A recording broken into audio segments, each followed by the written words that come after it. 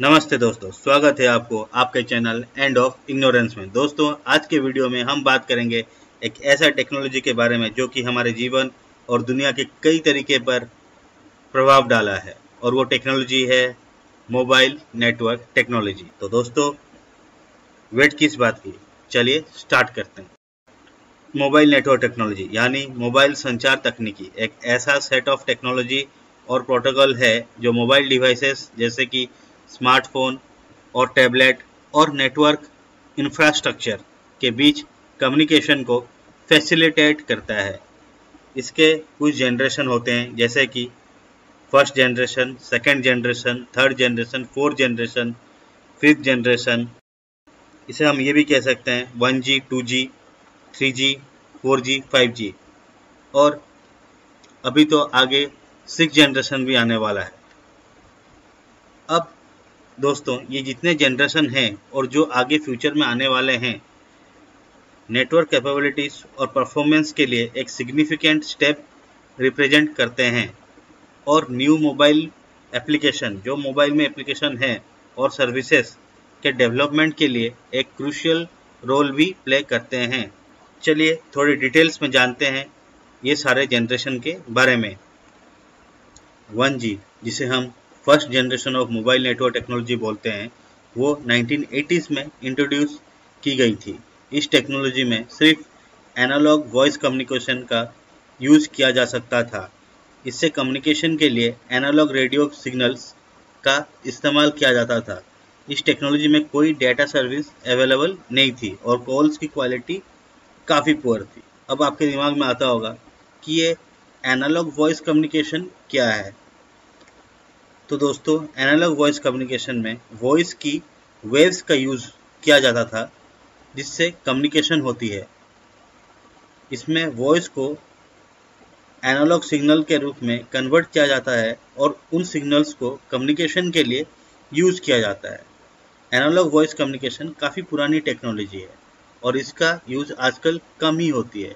दोस्तों 2G जिसे हम सेकेंड जनरेशन कहते हैं मार्केट को 1990s में इंट्रोड्यूस हुआ।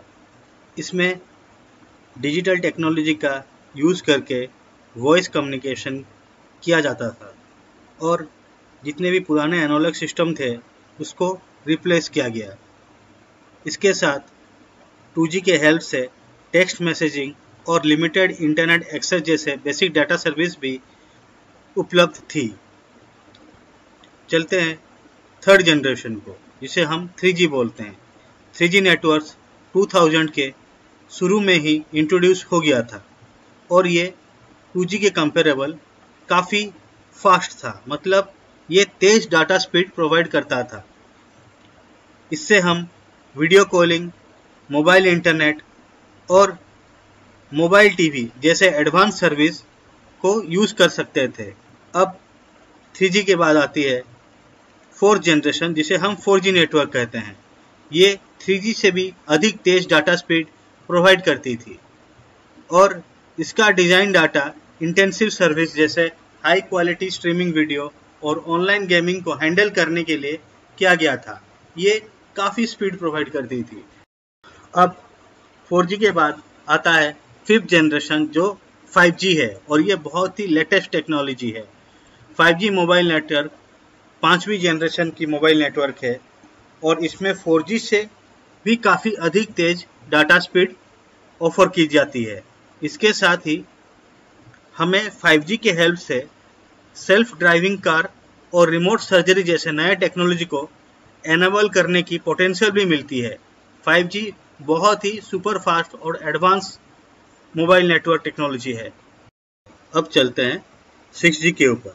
6G जिसे हम सिक्स जनरेशन बोलेंगे। ये डेवलपमेंट प्रोसेस में है। और इसका गोल ये कहता है कि ये हमें faster speed low latency higher capacity and more reliable connectivity comparable to 5G technology provide करेगा। एडिशनली 6G एनेबल करेगा न्यू एप्लीकेशन को एक्सेस करने के लिए, जैसे कि holographic communication real time telepresence and advance artificial intelligence दोस्तों, अगर हम सारे चीज़ को समराइज करें तो हम ये बोल सकते हैं कि एनालॉग टेक्नोलॉजी जो वन जी यूज़ कर रहा था, वो रिप्लेस्ड हो गया टू जी के आने से।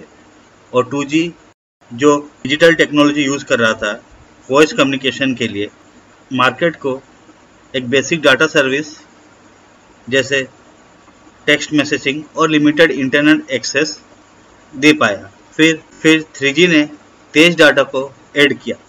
4G ने और भी तेज डाटा और वीडियो स्ट्रीमिंग को ऐड किया।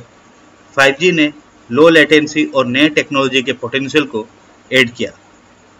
और दोस्तों 6G से हम ये उम्मीद कर सकते हैं कि ये भी और तेज डाटा स्पीड मार्केट को लाए और ढेर सारे इनोवेटिव एप्लीकेशन को इम्प्लीमेंट करें। दोस्तों, अगर आपको मेरा वीडियो पसंद आया है तो कृपया इसे लाइक करें, मेरे चैनल को सब्सक्राइब करें और अपने कमेंट देना ना भूलें। थैंक यू धन्यवाद।